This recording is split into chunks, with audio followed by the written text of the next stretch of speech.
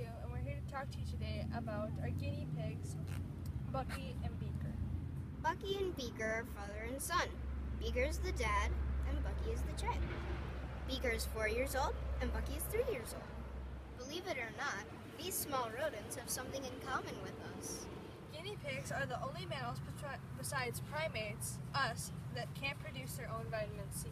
That means that these little guys have to eat their fruits and veggies every day to get the vitamin C they need, just like us.